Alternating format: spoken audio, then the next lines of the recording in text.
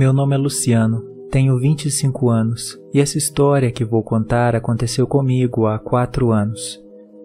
Eu e meus amigos éramos fascinados por coisas de terror, apesar de eu ter muito medo. Mesmo aqui no Brasil, o Halloween não sendo uma data comemorativa, ainda assim a gente sempre fazia algum programa bem legal. Certa vez, um desses amigos convidou todo mundo para passar uma noite no sítio de seu pai. Aparentemente era um sítio assombrado, pois era bem antigo e muitas coisas ruins aconteceram lá. Foi o que esse amigo disse. A casa do sítio estava abandonada porque era grande demais para o pai dele cuidar.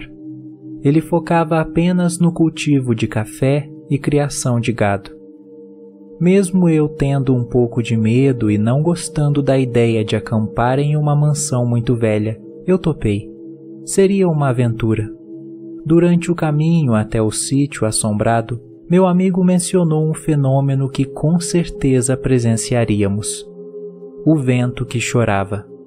Ele disse que bem em frente à mansão abandonada, se você saísse durante a noite, ia sentir um vento muito estranho e também iria ouvi-lo. Ele chorava.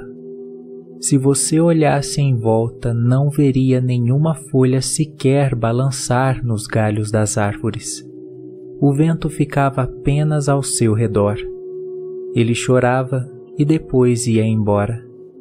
Aquela história, por incrível que pareça, não me deu nenhum medo, já que, dependendo do lugar, os ventos assoviam e a questão de ele estar somente em um único lugar também tem uma explicação lógica. Não existe nada de sobrenatural nisso. Logo nós chegamos na mansão. Aquilo sim me deu arrepios. Ela era branca, dois andares, janelas grandes e azuis. A pintura estava amarelada e haviam raízes subindo pelas paredes. Realmente o pai do meu amigo não se importava nem um pouco com aquele lugar. Nós montamos nossas barracas na sala de estar. Não quisemos ir para os quartos já que não sabíamos as condições da estrutura da casa. Assim que terminamos de montar tudo, nosso amigo deu a ideia de fazermos uma fogueira do lado de fora e ficar lá até que o vento passasse. Por volta de umas 10 horas da noite, estávamos todos reunidos em volta da fogueira. Conversamos sobre tantas coisas que até havíamos esquecido do vento. Porém, ele nos fez lembrar. Do nada ouvimos um assovio e um vento gelado tomou conta de nós e levemente balançou as chamas da fogueira. Um silêncio pairou sobre nós. Ninguém falou nada. Eu então ouvi um choro de criança. Parecia ser de um menino. Quando o vento passava por mim, eu ouvia o choro. Meu coração disparou. De repente, parou de ventar e um dos meus amigos começou a rir, dizendo: Era esse o vento que chorava? Gente, ele só assoviou como qualquer vento que assovia. Eu então o interrompi, preocupado e com a voz trêmula. Pessoal, eu ouvi uma criança chorar. Ninguém mais ouviu? O choro veio com o vento. Todos espantados com as minhas palavras disseram que não ouviram nem um choro. Eu, no impulso, perguntei para meu amigo se aquelas terras do pai dele eram realmente assombradas, se aconteceram coisas ruins naquele lugar ou se era brincadeira. Ele, com os olhos arregalados, disse: Bom, Luciano, sim. Há algum tempo atrás, os antigos donos estavam metidos com roubo de gado os peões então vieram até aqui acertar as contas com a família. A mãe, vendo os peões chegarem, disse para o garotinho deles correr pela mata para se esconder. Os pais foram assassinados ali na mansão e o garoto nunca foi encontrado. Ele se perdeu na mata. Luciano, você está muito nervoso. O lance do vento é só uma história. Não tem nada de assombrado nisso. Eu então respondi com lágrimas nos olhos. Tem sim. Eu ouvi um garoto chorar e agora você me conta isso. Enfim, vamos dormir. Mas eu não dormi naquela noite.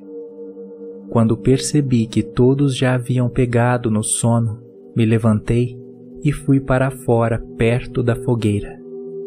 Com meu coração acelerado, eu disse: Eu te ouvi no vento, te ouvi chorar. Seu choro foi de desespero. Ninguém mais ouviu, então você deve ter me escolhido por algum motivo. Eu estou com medo, mas estou aqui. O que você quer?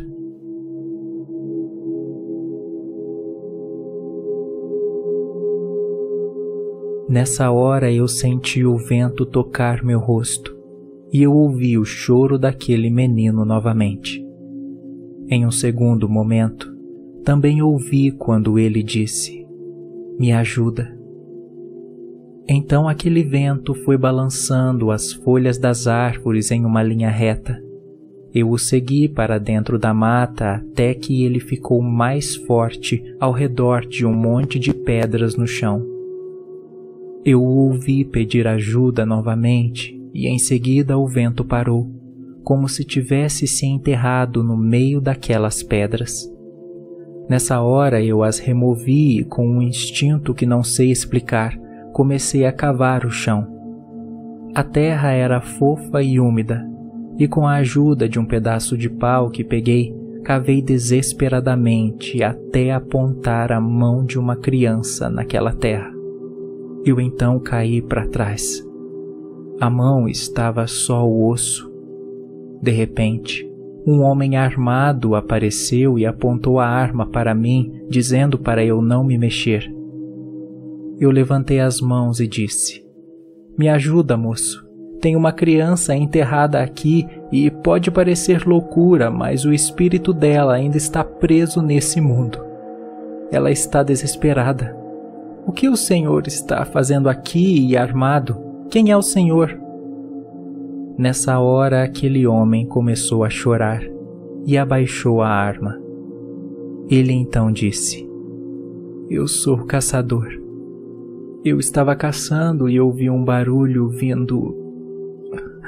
vindo do lugar que eu enterrei esse menino. Eu o matei. Há alguns anos eu estava caçando à noite e atirei em algo que se movia muito rápido, um animal grande. Mas quando cheguei perto, era um garotinho. Eu fui até a mansão, mas os pais dele estavam mortos. Aquilo ia acabar com minha vida. Então eu o enterrei na floresta para ninguém saber.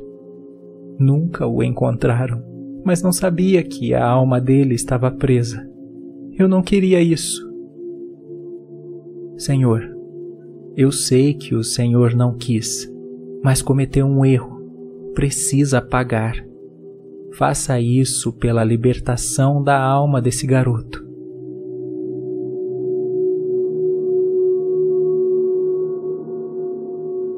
Ele então o fez nós terminamos de tirar os ossos daquele lugar e chamamos a polícia. Meus amigos ficaram espantados com o que tinha acontecido, mas não quis mais falar sobre aquilo. Não sei por que aquele garotinho me escolheu, mas eu não poderia fazer outra coisa a não ser libertar sua alma.